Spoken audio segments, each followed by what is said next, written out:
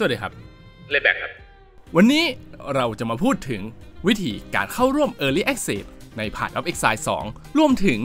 ข่าวดีที่จะทำให้ผู้เล่นเก่าเนี่ยใจฟูขึ้นมาทันที และก็ข่าวร้ายที่อาจจะทำให้หลายๆ คนเนี่ยต้องชะงักแล้วก็คิดดูก่อนว่าจะเข้าเล่น Path of Exile 2 ดีไหม ว่าแต่เนื้อหาจะมีอะไรบ้าง เดี๋ยวเราไปดูกันครับ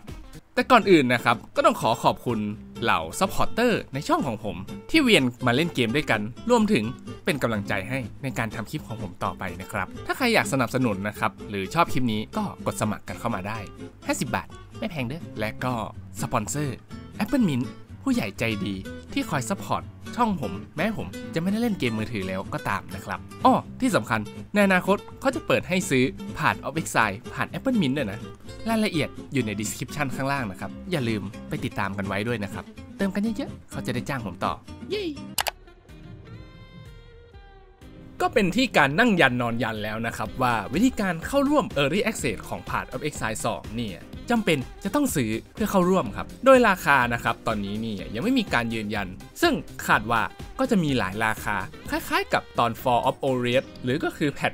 1.3 ที่มีการเปลี่ยนยกใหญ่ของ PoE 1 นั่นแหละครับ โดยราคานะครับน่าจะสตาร์ทอยู่ที่ประมาณ 30 ดอลลาร์ 60 ดอลลาร์ และก็มากกว่านั้นก็แล้วแต่ GGG เลยครับ โดยใน part นี้นะครับผมอยากให้เพื่อนๆคิดว่ามันไม่ใช่การซื้อเกมตรงๆนะครับ มันคือการซื้อสิทธิ์เล็กๆน้อยๆ เอาจริงๆ มันแค่ประมาณ 5 ดอล ส่วนที่เหลือนะครับเราเนี่ยก็จะได้รับ cash เพื่อไปซื้อ skin ซื้อคลังอะไรพวกนี้แหละครับ มันก็คุ้มเกินราคาแล้วครับ เชื่อผมดิ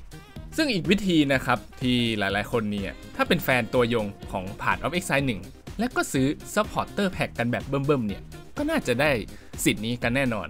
นั่นก็คือ Lifetime Support หรือก็คือถ้าเกิดเพื่อนๆเนี่ยสนับสนุนผ่าน of Exile 1 จนถึงมูลค่าประมาณ 500 ดอลลาร์ เอาง่ายๆว่าถ้าซื้อถ้าซื้อคอ Supporter Pack จนถึงแพ็กสุดท้าย แล้วก็ซื้อแพ็ก season นั้นๆนิดๆหน่อยๆ ครบแล้วจบ ส่วนจะมีการ raffle หรือก็คือการสุ่มผู้โชคดี ได้เข้าไปแบบฟรีๆไหมเนี่ย อันนี้ก็ต้องรอดูประกาศเขาอีกทีนะครับ ซึ่งจะมีการ livestream บอกรายละเอียดเต็มๆ ของตัว Early Access ในช่วงต้นเดือนพฤศจิกา หรือไม่ก็ท้ายๆตุลาเนี่ยแหละครับ ก็ต้องรอดูประกาศจากเป็นทางการผ่านทางโซเชียลมีเดียของ GGG อีกทีนะครับ มาถึงข่าวดีกันบ้างนะครับ โดยอันนี้เนี่ยมันก็ไม่ได้ดีแบบว้าว แต่ก็เรียกว่าดีแหละครับ โดยเรื่องนี้นะครับได้รับการยืนยันผ่าน livestream ของ Zizaran นะครับ โดยเขาเนี่ยได้แอบเปรยนิด ๆ ว่าใครนะครับที่ซื้อคลังในผ่าน of Exile 1ไปแล้วเนี่ยไม่ว่าจะซื้อ 1คลัง2คลังหรือร้อย tab เนี่ยคลังพวกนี้จะเข้า PoE 2แบบ Early Access ทันทีเลยไงของข้อดี I did ask. Yes, you can use your PoE1 stash tabs already in the early access. So if you have 50 or 100 or 1000 stash tabs in PoE1, แต่ยังไงก็ตามนะครับ อันนี้เนี่ยยังไม่ official นะครับ เป็นแบบว่าการเปรยเล็กๆ จากสตรีมเมอร์ที่มีแบบความสัมพันธ์อันดีกับ GGG ครับ ยังไงก็ฟังหูไว้หูเนาะ มาถึงข่าวร้ายของผ่าน Up Exile 2 กันบ้างนะครับ โดยในรอบนี้นะครับ ถ้าใครจำกันได้นะครับ ช่วงที่ผ่าน Up Exile 2เปิดตัวใหม่ๆเนี่ยรวมถึงตัว trailer เนี่ยเขาก็จะบอกว่าPath of Exile 2นะครับ ใน Early Access เนี่ย จะมีทั้งหมด 12 อาชีพ 6 act มอนอีกเพียบ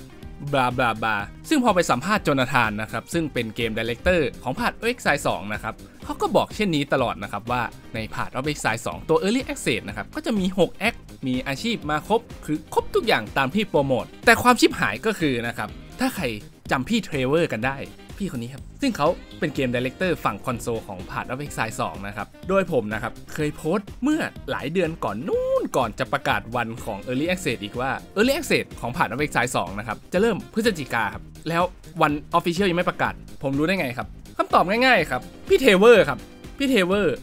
พูดไว้ในช่วงสัมภาษณ์ตอนงาน Gamescom ครับและนั่นมันหมายความว่าอะไรที่พี่เทรเวอร์หลุดออกมาเนี่ย เขาก็คงไม่ได้คุยกับพี่โจนาธานนะครับ ซึ่งข่าวร้ายที่ว่านะครับ พี่เทรเวอร์เนี่ยได้สัมภาษณ์ผ่านสื่อญี่ปุ่นในช่วงงาน Tokyo Game Show ที่ผ่านมาเมื่อไม่นานนี้เอง โดยในเว็บไซต์ Game Watch นะครับพี่เทรเวอร์เนี่ยเขาได้สัมภาษณ์ไว้ยาวเหยียดเลย แต่ผมจะย่อให้เหลือแต่เนื้อๆแล้วกันนะครับ โดยเนื้อหาหลักๆ นั่นก็คือ Path of Exile 2 Early Access จะมี 3 act ครับ ไง ไหนอะ6 Act นอกจากนี้นะครับ อาชีพ 12 อาชีพ มี 8 อาชีพครับไง อะไรนี่ แต่ยังไงก็ตามนะครับ มันไม่ official นะครับ ฟังหูไว้หู แต่อย่าลืมนะครับ พี่เทเวอร์แม่ง leak ถูกต้อง ยังไงซะ มันก็เป็น Early Access นะครับ มันก็คงไม่ได้ร้ายแรงขนาดนั้น เพราะว่าระหว่างทางก็คงจะมีการอัปเดตมาเรื่อยๆ ระหว่าง Act 4 Act 5 Act 6เพราะว่าโจนาธานบอกว่า Act 6นะครับ เป็น Act ที่สั้นที่สุด ฉะนั้นเนี่ยมันก็คงใช้เวลาในการรับคมนิดๆหน่อยๆ ปรับแต่งนู่นนี่นั่น ไม่นานหรอกครับ เดี๋ยวก็คงออกมาให้เราครบ ในช่วงสิ้นปีหรือไม่ก็ต้นปีอย่างแน่นอน รวมถึงอาชีพอีก 4 อาชีพที่ยังไม่ปล่อยด้วยนะครับ โดยอาชีพ 8 อาชีพที่จะออกมาให้เราเล่นกันในตัว Early Access ก็จะประกอบไปด้วย Warrior Ranger Mercenary Monk Druid Witch Sorceress Huntress แค่นี้แหละครับ โดยอาชีพที่จะตามมาทีหลังนะครับ ก็คือ Tempa Marauder Duelist และก็ Shadow นั่นเองครับ ใครที่เป็นสายแท็บก็อดใจรอกันก่อนนะครับ นอกจากนี้นะครับในส่วนของ Ascendancy เนี่ยก็คาดกันไว้ว่า จะมีแค่ 2 Ascendancy จาก 3 ครับ หรือไม่แน่อาจจะมาแค่ 1 ด้วยซ้ำยังไงเนี่ยก็ต้องรอดูกันอีกทีนะครับ แต่ว่าอย่างที่ผมบอกครับว่ามันเป็นคำพูดจากพี่เทเวอร์คนเดียว ส่วนพี่โจนาธานเขานั่งยันนอนยันขนาดนั้น ยังไงก็ต้องรอดูประกาศใน live official นะครับว่ารายละเอียดเต็มๆ จะมีอะไรกันบ้าง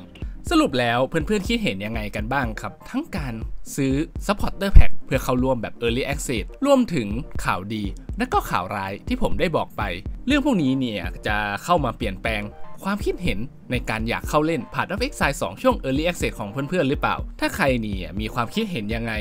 ก็ลองแชร์กันมาได้นะครับ เดี๋ยวผมจะรออ่าน เพราะว่าช่วงนี้ผมกระเฮี้ยนกระหือรือ อยากเล่นมาก ถ้ามีอะไรให้อ่านเพลินๆระหว่างทางก็คงจะดีเช่นกันยังไงนะครับ ถ้าใครชอบคลิปนี้ก็ฝากกดไลค์ กดแชร์ กดซับกันไว้ด้วยนะครับ ด้วยความที่คลิปช่องผมเนี่ยมันเน้นย่อยให้เหลือแต่เนื้อ เพราะฉะนั้น YouTube จะไม่ค่อยรักผมสักเท่าไหร่ ก็รบกวนกันด้วยนะครับ กดซับเยอะๆ จะดีมากๆเลย ขอบคุณครับ ไว้เจอกันใหม่คลิปหน้า ไปจ้า